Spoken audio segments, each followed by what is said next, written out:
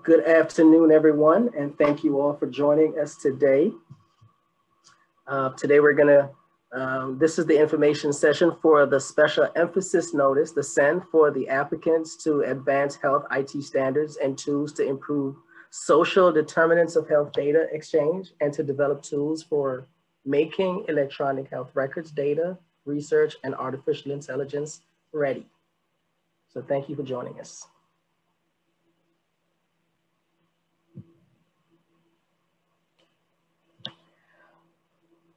All right, so here's uh, our agenda for the day. Uh, first, we'll have the introduction of speakers. We'll have some reminders and some housekeeping.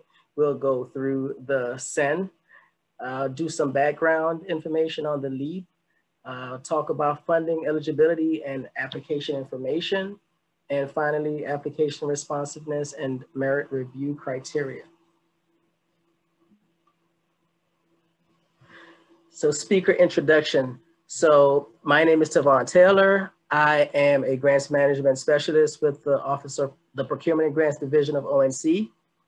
Um, Kevin Chaney will also be one of your speakers today. He is the Senior Program Manager for the Chief Scientist Division of ONC. Um, his colleague, Sherilyn Pruitt, is the Innovation and Engagement Branch Chief for the Standards Division of ONC. And our moderator is Mr. Derek Ware, who is the Procurement and Grants Division contractor. So first, housekeeping. This webinar is being recorded and will be made publicly available. All phone lines will be muted during the presentation. If you have questions, please enter them into the chat box. And the webinar and FAQs will be available at the link provided. Um, something to note that all questions will be answered in FAQs that will be made public after each week.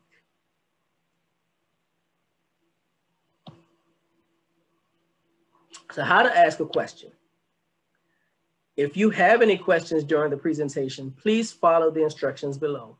You will use the Q&A function to, to ask your question. So there are three steps. Number one, along the bottom of the webinar window, you'll find and click the Q&A button. The Q&A panel will then expand on your screen.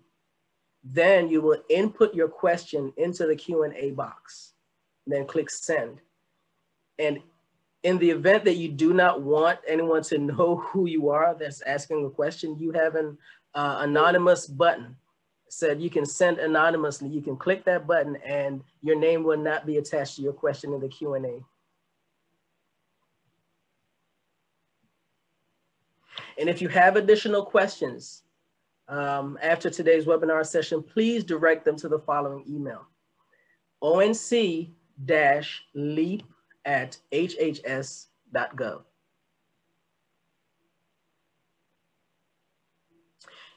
And at this time, I believe I'm turning it over to Sherilyn and Kevin. Hi, thanks. This is Kevin Chaney. Um, I want to thank everyone here today uh, to tune in uh, to learn a little bit more about this year's Leading Edge Acceleration Project, or LEAP, uh, and Health IT Special Emphasis Notice um, uh, for the two areas for this Notice of Funding opportunity. Uh, next slide. Uh, so as I mentioned, uh, this year for the special emphasis notice, there are two areas of interest, uh, which you will hear about each of them today. And we intend to make one award per area of interest. And it'll be $1 million per award, should say up to $1 million per award. And the period of performance is, uh, you know, you have to do at least two years, or I should say at the most two years, um, and then proposals may have an additional three years, so it would be a total of five years um, uh, that you can propose for uh, as part of your project timeline and plan. Uh, but you ha must have the required two years and the potential again for up to three years, which is subject to availability of funds and meaningful progress that's made during the first two years. Uh, we're asking that uh, those of you who are interested to send your letters of intent uh, by March 23rd of this year. So uh, that's quickly coming upon us.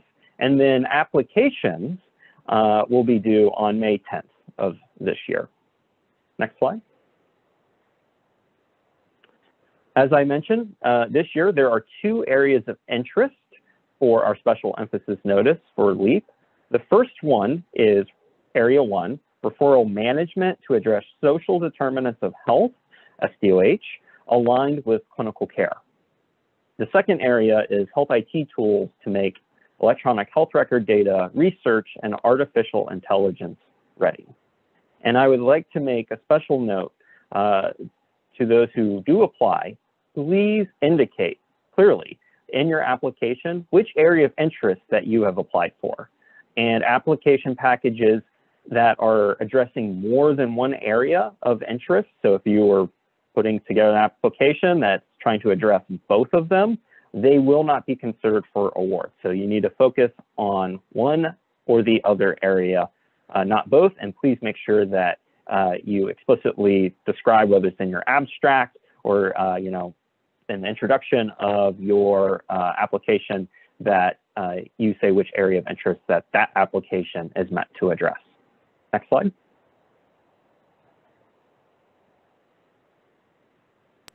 Hi, everyone. This is Cheryl Pruitt. Uh, Kevin and I are going to tag team throughout this presentation so you get to hear uh, different voices so it doesn't get monotonous.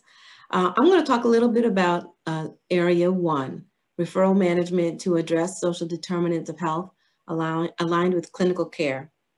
The goal of this area is to pilot health IT standards and non-proprietary innovative approaches for managing care referrals for social services and support, and secure communication tools for non-clinical health supporting services needed to ensure care referrals and the bi-directional exchange of electronic health record, health information across these organizations to keep patient health record up to date and represent longitudinal and person-centered health and care.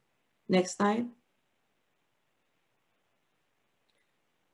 The objective for Area 1, the Area 1 recipient must first demonstrate social determinant of health data and exchange, and managed care referrals based on identified individual social needs in a real world setting that constitutes closing of the loop between clinicians and community-based stakeholders through pilot projects that demonstrate the exchange of one or more social determinant of health domains identified by the Gravity Project.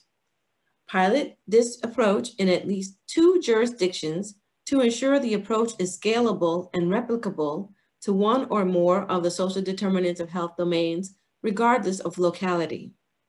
Proposed projects must incorporate a minimum of one of the following existing standards and or implementation guides. Social determinant of health clinical care, uh, implementation guide like Project Gravity, 360X, electronic long-term services or and support, ELTSS, or another emerging nationally relevant, recognized, and available health IT standard, including those specified in the ISA, the Interoperability Standards Advisory. Next slide, please. The Area 1 recipient must develop and or use any non-proprietary tools necessary to successfully complete the project engage with efforts, engage with current efforts to inform future implementation efforts and further existing standards development activities, including testing and update of standards used in the project as necessary. Work with existing community-based organizations to ensure alignment with the needs of community health centers and other existing local or community resources. Identify gaps in coding and terminology standards to support the advancement of the use of cases and standardization of social determinants of health data. And document technical requirements for social or community service organizations to send and receive referrals and associated clinical information using the proposed standards and document the level of readiness and or feedback from implementation. Next slide. Again, content, vocabulary, and transportation standards to, to support the exchange of social determinants of health data. Uh, this is the required expertise. Stakeholder coordination with clinical care providers, community-based organizations, health information exchanges, and or community information exchanges. and workflow and technical architecture that supports referral management. Other requirements include the applicant must also include a coalition of key stakeholders along with letters of commitment who will be directly involved in the project. Applicants must not rely on a single vendor or proprietary technology.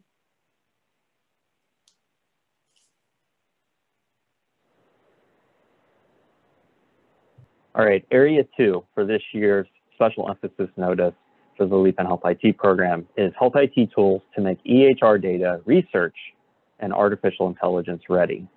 Again, with one award up to $1 million.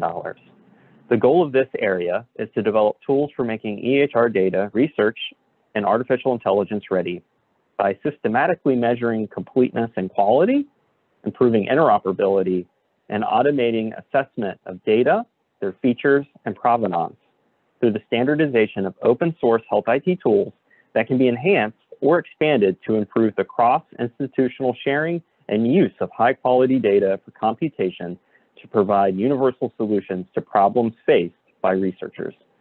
Next slide. Area two associated objectives. For area two, the recipient must implement a phased approach for the enhancement and or development of open, scalable, health IT-based tools to boost high quality data for training, learning, modeling, and analysis in coordination with relevant stakeholders, including but not limited to federal health research funders, researchers, i.e. potential tool end users, and health IT developers to advance their use in at least two of the health research needs identified above, and provide specific examples of the types of research and artificial intelligence algorithms and or applications that would benefit from these data. Next slide. Further, the Area 2 recipient must demonstrate their tools for preparing research and artificial intelligence ready EHR data in partnership with at least two other institutions. It is desirable that institutions use differing health IT systems from different health IT developers. Partnerships should be formed to demonstrate generalizability and provide external validity of research findings. Involvement with federally qualified health centers and small-sized healthcare providers is strongly encouraged to demonstrate tool scalability with providers typically unable to participate in research. Recipients must also develop and implement a comprehensive dissemination plan to scale and spread their awarded project's findings and outputs to be used by other relevant stakeholders. Next slide. For Area 2, applicant required expertise, we're looking for those that have are able to address issues with quality and completeness of EHR data and their suitability for use in research and for artificial intelligence development and testing. Have a background in health informatics and the use of health IT and electronic health record data for research, as well as common data models used in research, such as I2B2, PCORNet, OMOP for FDA Sentinel initiative, also the use and understanding of open data standards, including FHIR, research tools, and electronic health records, an understanding of research tool development, implement implementation, and use, including user-centered design and testing of such tools. The applicant should also have research enterprise and research processes expertise around things such as patient identification, data sharing, consent, and privacy considerations for sharing clinical data for research and artificial intelligence development and testing. Patient consent and consent management, electronic health record data aggregation and curation, assessing and addressing electronic health record data quality issues relevant to research and artificial intelligence development and testing, as well as AI training data set development. Next slide. I'm going to talk a little bit about the background for how LEAP in Health IT, how the notice funding opportunity came about. Next slide. The LEAP in Health IT seeks to address well-documented and fast emerging challenges inhibiting the development, use, and or advancement of well-designed interoperable health IT, which is scalable across the healthcare industry. Next slide. Applications submitted under this special emphasis notice will be funded under the LEAP and Health IT Notice of Funding Opportunity, NAP-AX-18-003. Aside from areas of interest, required expertise, and the deadlines listed in the special emphasis notice, all other requirements, application instructions, and terms and conditions of this NOFO apply. Next slide. Eligible applicants. This is a competitive funding opportunity open to public or nonprofit private institutions such as a university, college, or a faith-based or community-based organization, units of local or state government, eligible agencies of the federal government, Indian, Native American tribal governments, federally recognized, other than federally recognized and tribally designated organizations. For-profit organizations may participate in the projects as members of a consortia or as a subrecipient only. Because the purpose of this program is to improve healthcare in the United States, foreign institutions may participate in projects as members of the consortia or as a subrecipient only. They cannot be an applicant. Organizations described in section 501c4 of the Internal Revenue Code that engage in lobbying activities are not eligible. HHS grant policy requires that the grant recipient perform a substantive role in the conduct of the planned project or program activity and not merely serve as a conduit of funds to another party or parties. Applicant organizations may submit more than one application provided that each application is scientifically distinct. Next slide. Deliverables.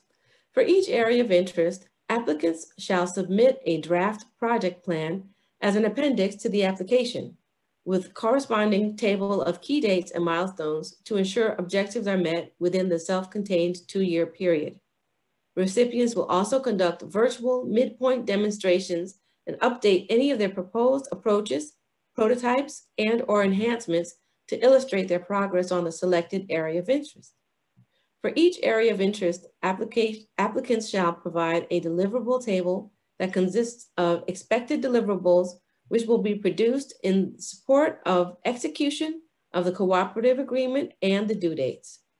Next slide. Okay, so for those of you looking at this, this, this is the type is small, but I'm gonna go over it. Uh, this is the deliverable table. And the first thing that's listed is the draft project plan and timeline. The due date is not less than one month after the award date.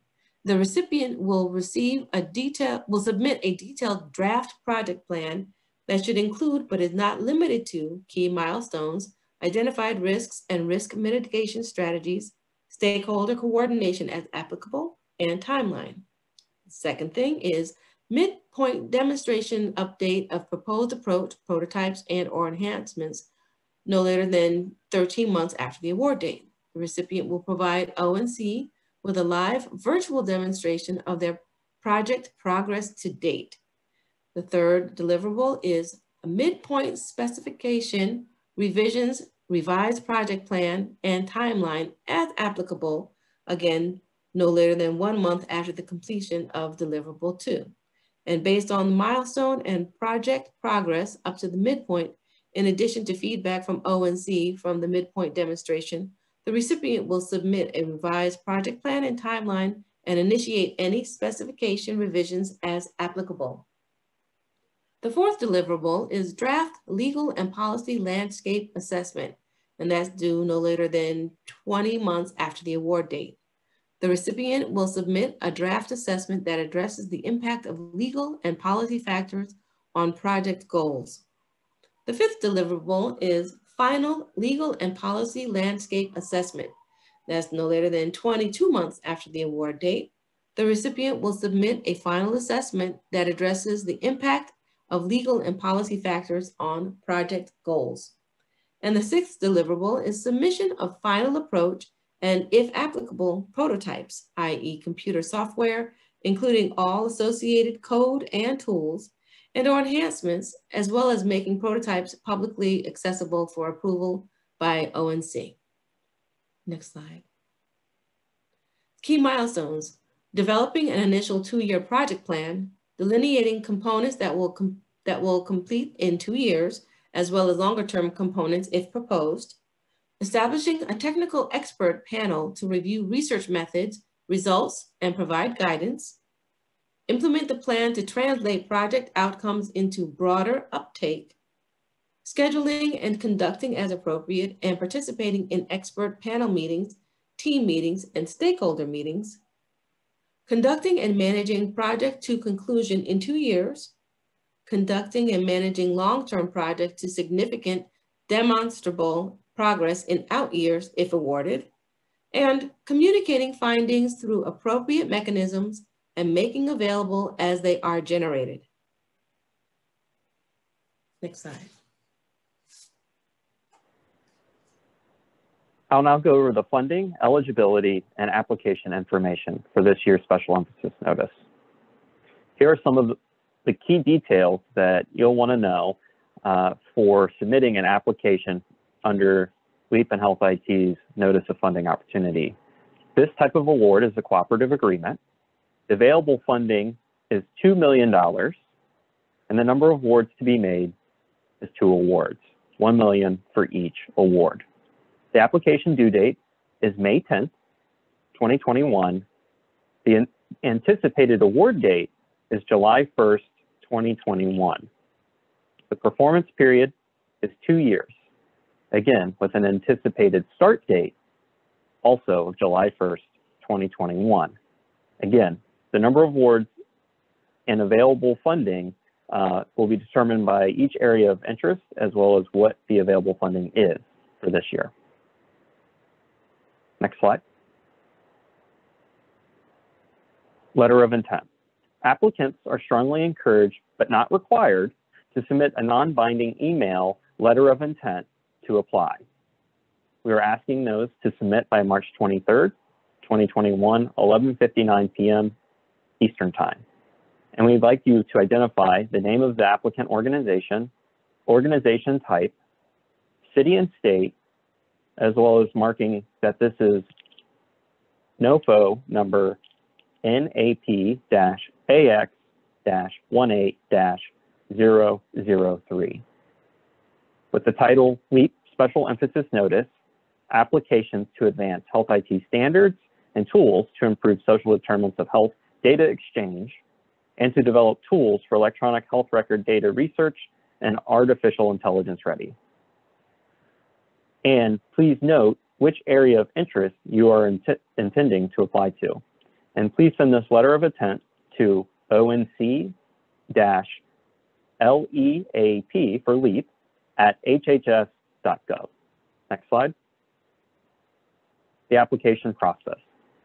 Applicants must submit all material electronically through grants.gov. This process is outlined in the Notice for Funding Opportunity. For assistance with submitting applications on grants.gov, please contact the grants.gov help desk at support at grants.gov or call 1-800-518-4726. Applicants must have a Dun and Bradstreet DNB Universal Numbering System, or a DUNS number. Applicants must register in the system for award management or called SAM at www.sam.gov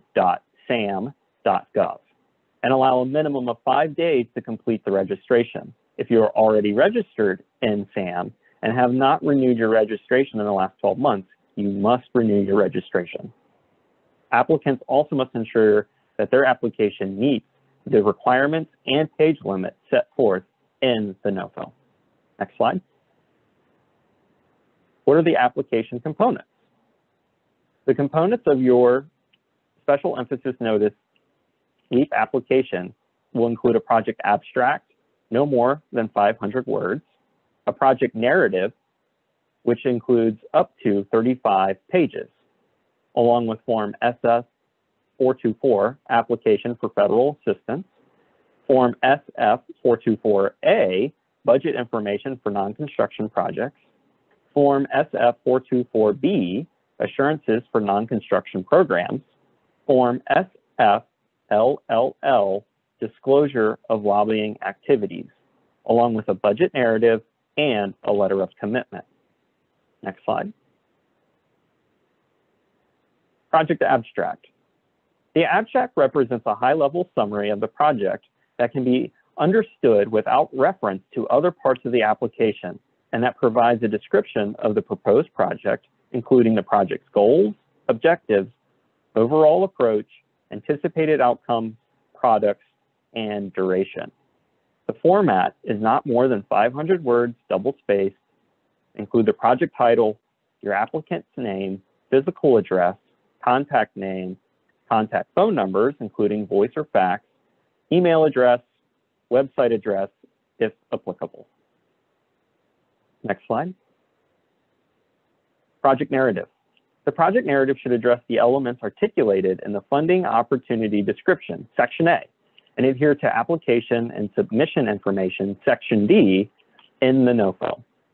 The project narrative should align with performance goals and milestones with merit review evaluation criteria also presented in the NOFO. Applications that did not follow the outlined format must be reviewed by an ONC designated official.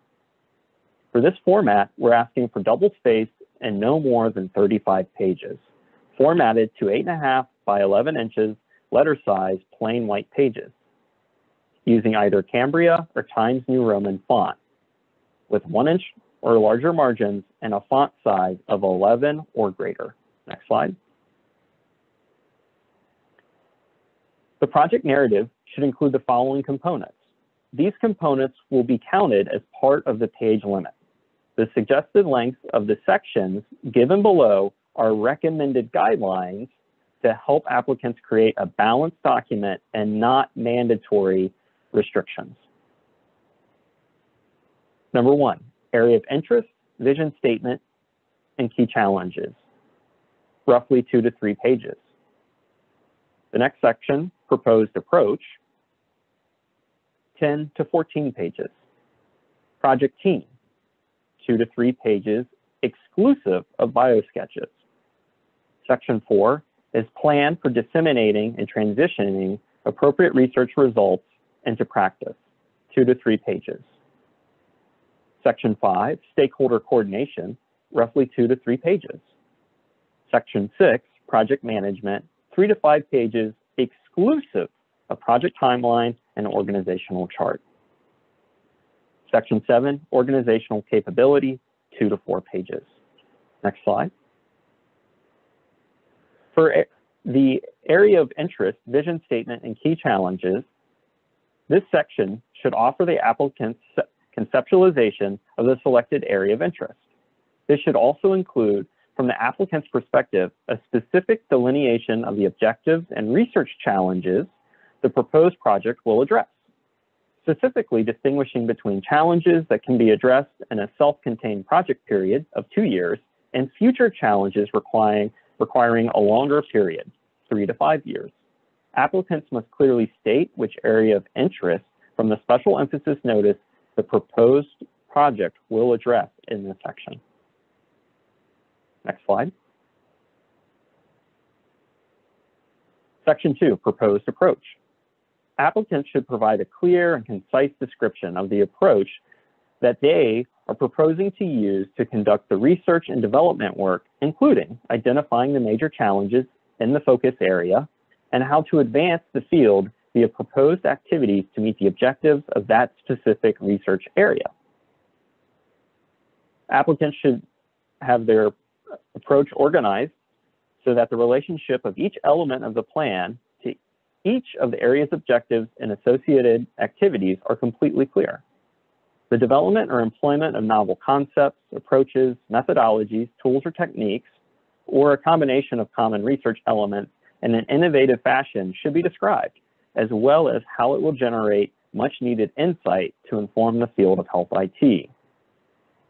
In this section, proposed strategies on how the results of the project may be disseminated and transitioned to the field at large should also be noted. Next slide. Proposed approach continued. The approach should include as much detail as possible given the page limitation.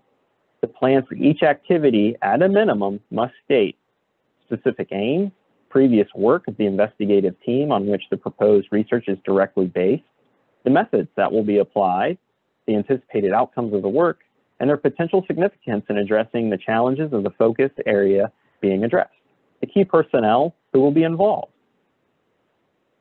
Next slide. The project team. This section must describe the proposed research team's expertise and experience and include the following. A project director or principal investigator. At least one person on the proposed research team must possess health IT expertise. For area of interest number one, the proposed research team must have expertise in the areas outlined in the special emphasis notice. And you can see slide 11 of this presentation for what those were. For area of interest two, the proposed research team must have expertise in the areas outlined in the special emphasis notice for that area, which can also be found on slide 16 of this presentation, as well as within the NOFO. The application should include a bio sketch for key project personnel. Next slide. Section four, plans for disseminating and transitioning appropriate research results into practice. This section should describe a plan for engaging health IT stakeholders and interested groups in promoting the dissemination and transition of appropriate research activities and results into data standards, data infrastructures, health IT products, tools, and or best practices.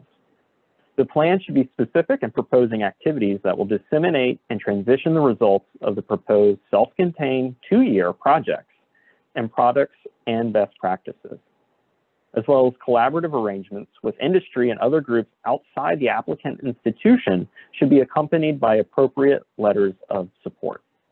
Next slide. Section 5, Stakeholder Coordination. This section should describe plans to establish and operate a technical expert panel of relevant and appropriate stakeholders, including the names of members who have committed to join or propose to join to help inform the work to be conducted on the relevant area of interest. Next slide. Section 6, Project Management.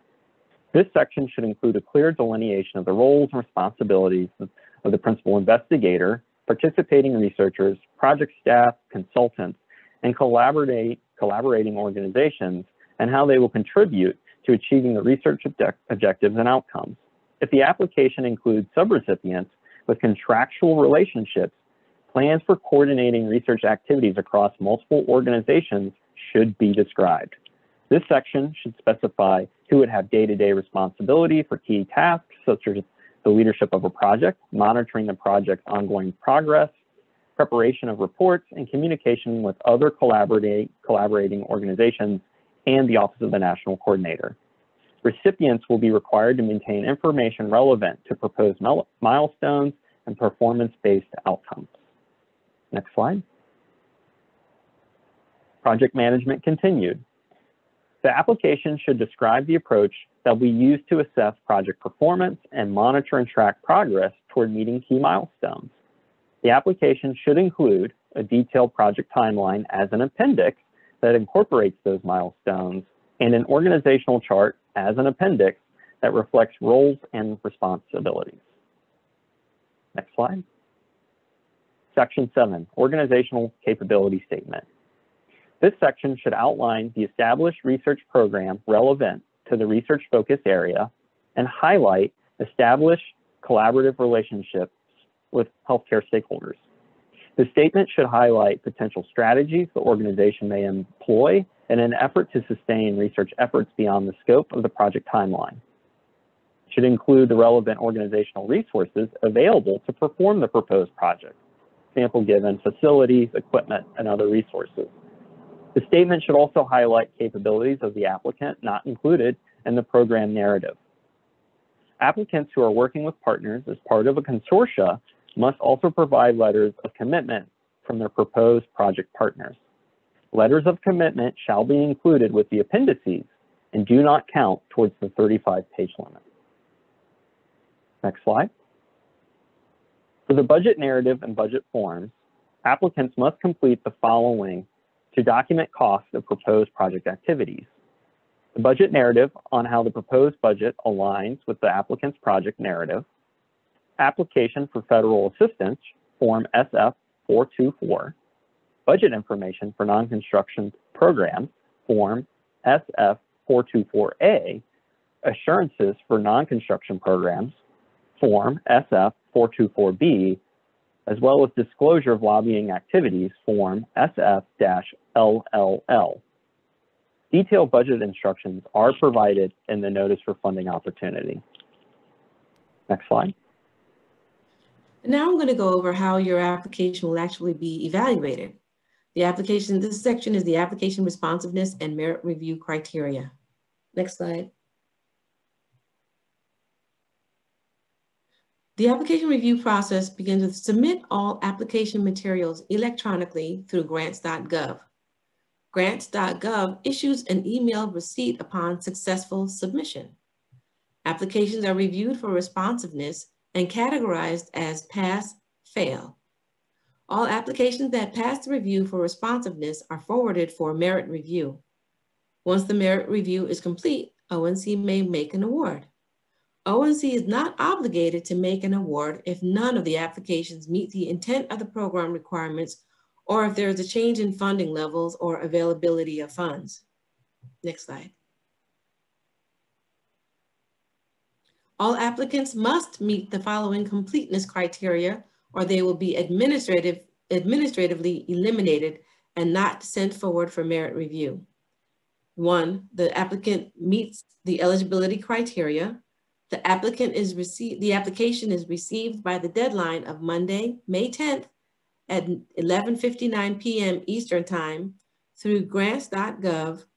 And the application contains all the required components, including the program narrative, the SF424 form, etc. The applicant, the application meets all formatting and length requirements.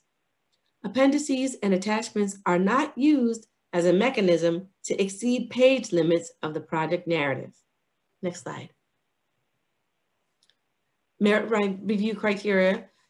Responsive applications are forwarded for merit review. Merit review conducted by a review panel of at least three experts in their field from academic institutions, nonprofits, and local and federal government agencies. Applications can receive a maximum of 100 points using the following scale. Understanding the project, the uh, understanding of project purpose, 10 points. Approach and activities, 40 points. Applicant capabilities, 30 points.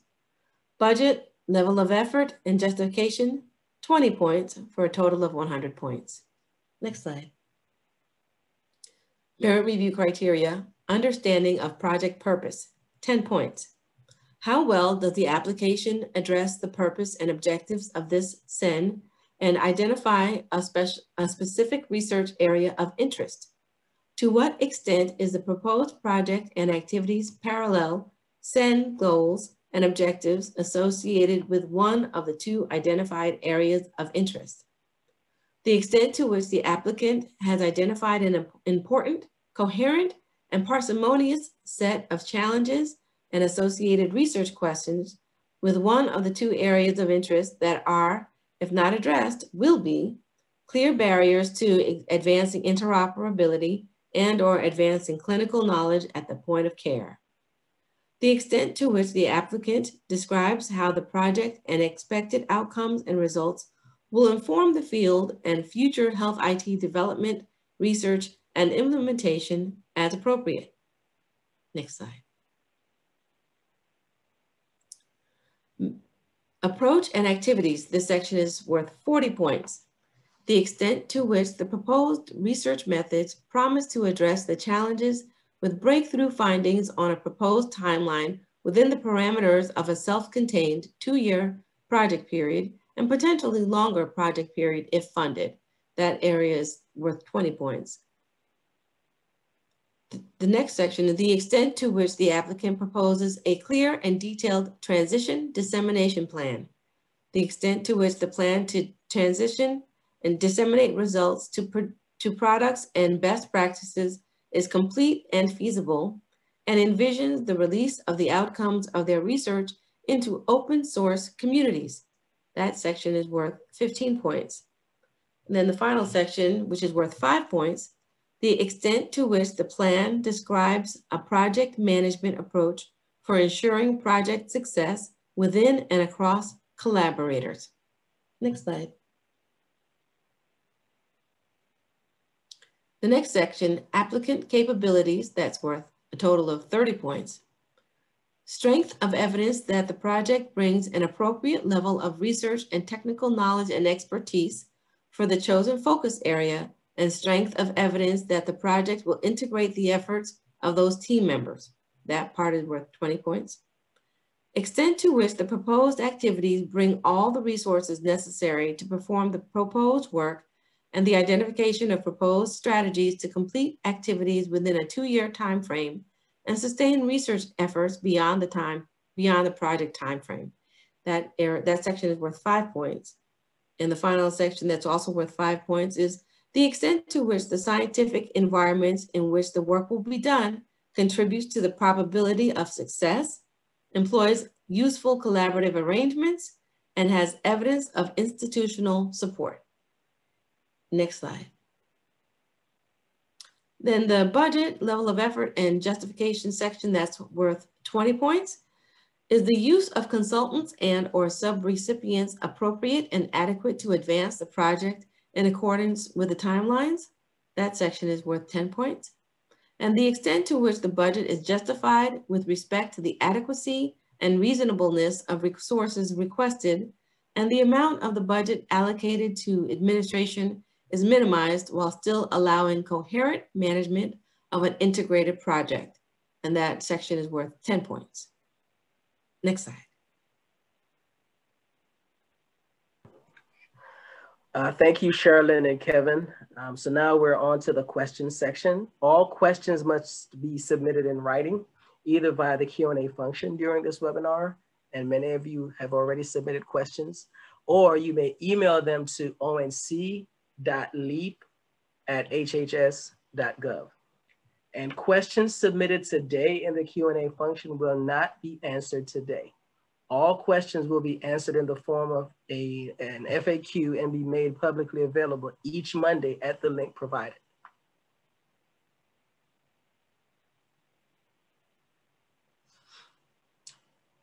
So that completes the end of uh, this information session. Thank you for attending. There will be five remaining minutes online. So that's the time that you will use to submit any other questions that you may have um, in the Q&A function. Also to see the SEN um, or to apply, you can go to grants.gov. If you wanna see the SEN, go to grants.gov. To apply, you can go to that website that's listed there for you. And if you have any uh, questions about how to apply, um, please contact the grants.gov help desk at support at grants.gov or call 800 518 4726.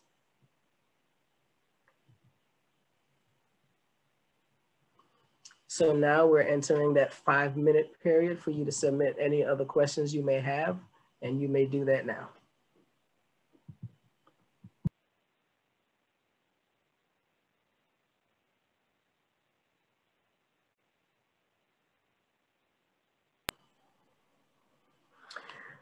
Um, so these are some dates to remember uh, for our LEAP-SEN FY21. The release date was February 23rd. Today, March the 9th is the information session and letters of intent will be due on March the 23rd. The application deadline is May 10th and the target award date is July 1st. So the moderator will now end this session. And again, we want to thank you all for participating in our information session for the LEAP SEN 2021.